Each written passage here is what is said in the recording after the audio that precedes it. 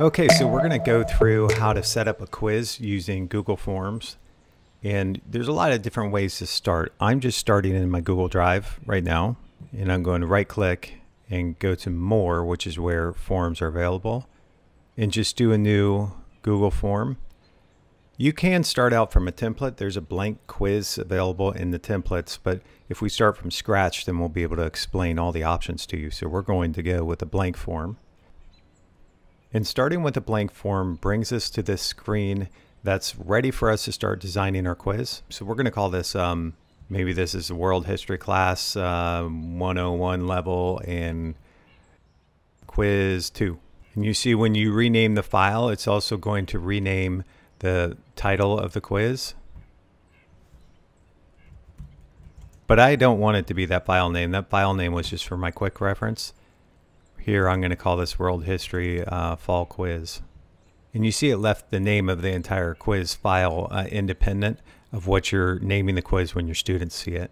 And if you wanted to do a further description, you could say that this is a review of the first chapter.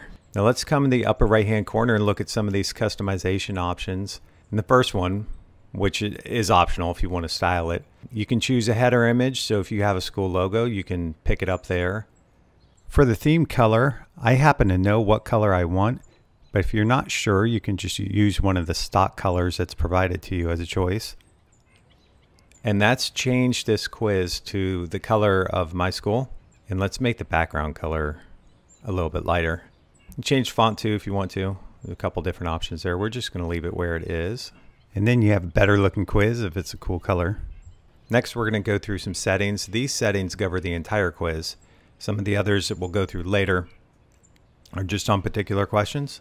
If you turn this option on, it's going to collect the email addresses of your students. And you can also send them a, a, copy of their responses via email if you check this box. You can restrict who can sign into this. Now here you're seeing that I have my own G Suite account, which is within this organization. And if I leave that checked, then only other people that are in my organization can take the test. So this could be a Google for Education account, and you would probably want to restrict it to your students, right? So consider leaving that checked. If you want to find out more about what G Suite is and using it for your company, I did put a link down in the comments, but it allows you to use Gmail, Google Forms, and Google Docs and other apps as a company. And this next box will limit your students to taking the quiz only one time. I think in most circumstances you want that checked, so let's do that. And in order to do that, you have to require the users to sign into Google. Otherwise, Google doesn't know who they are, so it can't limit them to one time. If you want to enable your students to edit their responses after they submit, check that. And if you want them to see kind of where the curve is at the point in time when they submit their responses, leave that checked. These are pretty self-explanatory, a progress bar and shuffling the order of the questions. You can also tell them, hey, your uh, quiz responses have been recorded. Otherwise, it's not going to give them a message. And here's an important setting, right? So if you click this slider, it's going to introduce the functionality that Google Forms has that changes this just from a regular form to a quiz. Then it's going to allow you to assign different point values to questions, and it's going to turn on some auto grading options. So let's leave that on and we're going to click Save.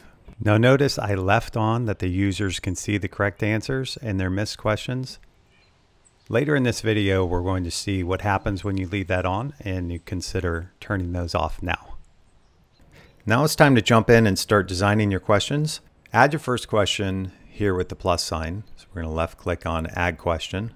And there's a lot of different things going on just in this box here. And we're just going to start with the question. So we're going to say, when was Napoleon born? And a couple things have already happened here. One, Google is suggesting that this is to be a multiple choice. That could change based on what question you put in, and it's also suggesting a correct answer. So assuming we want this one to be multiple choice from these different options, let's leave it at multiple choice for now. We'll go over the other ones later. We're going to left click on the suggested answer. We're going to assume that that's right. And if you see the green check mark to the right of it, it's Google is saying, hey, th this is the one that we have set right now as the right answer. So if the student answers that, they're going to get points for it. It's also suggesting wrong answers. So let's add this one. And then we're going to add another one. And the one that we added is called others. So this will enable your students to type in another answer because they don't think either of these two are right. And this question's ready. So let's go to the answer key.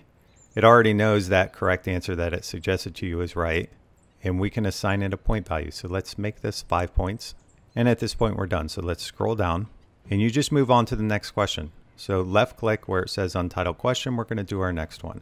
Now we're going to do something more subjective. We're going to say, we're going to say, why is Napoleon so well known? So Google has read this question and it already knows, boy, this is probably going to be a short answer. It's not going to be a multiple choice. You can also change it to a paragraph, but let's just leave it on short answer for now. And another thing that's happening here we don't need to do it, but if you require an answer to this question, it's going to put a red asterisk on it. And then that red asterisk is going to be defined as something you have to answer before you submit the quiz. Let's give our students the ability to not answer it. So we'll leave that unchecked. If you've talked to your students about making sure a short answer isn't too short and you want to make sure it's greater than a certain length, you can validate the response and you can say, listen, the length of this response, the minimum character count needs to be at least 15 characters. Or I'm going to tell them, please write a longer answer. This doesn't have to do with grading it right or wrong. This has to do with just a message that's going to pop up to them if they move on from this answer with the answer being too short. And let's go to this answer key. This is going to work differently because there is no set right or wrong answer. Since this one is um, takes a little bit more effort, we're going to make it 10 points. And we're just not going to add a correct answer. Therefore, we can't mark any other answers incorrect, but we're going to have to come back in here later to grade this one. Let's scroll down a little bit. And if you're doing questions like this, also, you can't give the students their immediate grades when you're done because otherwise this is going to be marked wrong. All right, let's move on to another type of question. We're going to go to add a question. It's putting them down to bottom. I'm going to scroll down so we can see it a little bit better. And this time we're going to start with the type of question instead of having it guess for us. Paragraph works similar to short answer, so we don't need to go over that. If you do check boxes, what that means is the student can check more than one, as opposed to drop down, where if the student has a drop down, and I'll show you how that works. They can only pick one. It works similar to multiple choice how it did up here, but it just gives them a different interface. We'll ask them what country is he, so I don't have to misspell it again, from. And option one is going to be Ireland. Option two will be France. And option three will be Libya. And we'll come down and we'll give the answer as France. But first, let's give it five points. And here you see it saying, hey, choose the correct answer. So let's just come down and left click on France. That's done. Now that we've added a few, let's go see what this quiz looks like so far. And to do that, we're going to go in the upper right hand corner and left click on preview. Now we're coming in as if we're a student. And you'll notice that it's telling me, hey, we're collecting your email account. And it's going to be recorded when you submit this form. We're going to uh, do a wrong guess when Napoleon was born. That red isn't saying that it's wrong. That's just the theme that you picked. Napoleon was so well known because he was good. Nope, please write a longer answer. All right, so it gave me that feedback immediately. He was good at leading his people. In what country is he from? Now you notice there's only one answer for this as well, but the format is different than it was up here. You left click on choose and then you pick the correct answer from a drop down. Also take a look here on the right hand side. It's telling the student how many points each is worth. We'll come in here and left click on submit. So if I click view score, it gives me this instant feedback. And if you don't want students to be able to see this, come back to where you designed the quiz. Go into the settings and look at the quizzes tab. You need to change the setting for release grade to later after manual review and that they can't see the correct answers. Let's change the release grade, unchecked correct answers, click save. And we also had the setting that you can only take it one time. So I'm going to have to change that setting and go back in and show you what it looks like. In order to take this quiz again in the preview to show you, we're going to have to uncheck limit to one response. Although you may want to leave that on for your students. Click save. Let's look at it again. If we say Napoleon was born, we're going to pick the wrong year.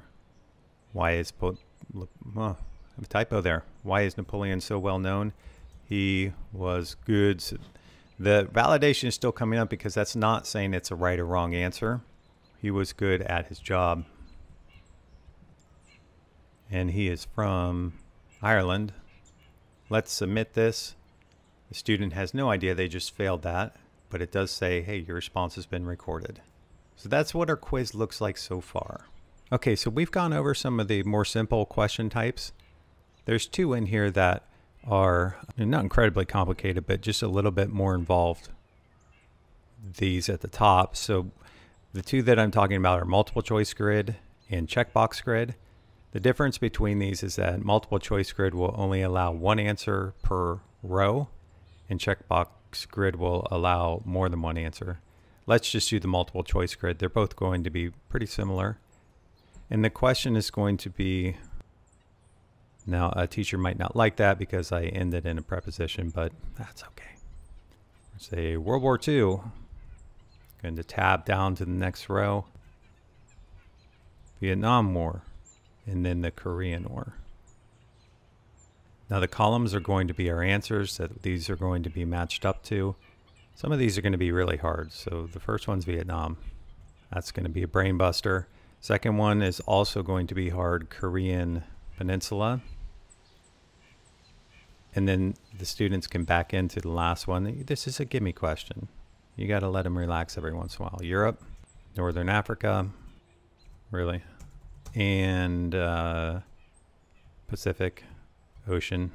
It's an ocean war. There's your answers. Now, if you go down again, it's pushed some of the functionality below the screen, but if you scroll down, you see it. I don't care about requiring a response in each row. If the students um, miss a question, we're going to say that, that they need to uh, learn by getting it wrong so that they uh, are more careful next time. So we'll leave that off. And the answer key is pretty smart. So it lets you see the question as if you're taking it, and then you can just fill in the answers. The Vietnam War, hmm, it's probably in Vietnam. Korean War, we're going to say the Korean Peninsula. Given the point values, each of these are going to be two points. Okay, so those are all the question types that we're going to go over. Now, beyond just adding answers, you can also add, let's just say, some extra navigation to your quiz. You do that by going to add a section. And it's a little hard to tell by these screens, but what adding a section does, it allows you to group the questions in a page on the quiz. So when someone gets past this multiple choice question, they're going to have to press a button that says next, and then they'll come to this section in the quiz under which you can group more questions. So maybe one of the sections is um, pre-industrial revolution. Maybe the next one is post-industrial revolution.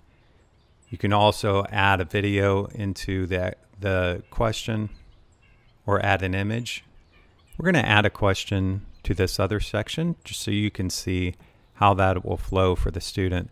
So we're going to say, this is just one more question. It's our last one. It's suggested that we ask yes, that we add yes, no, maybe. We're great idea, Google. We're just going to do that. And leave the answer key off for now because all we want to do is I'm going to show you how this quiz looks now that we're done.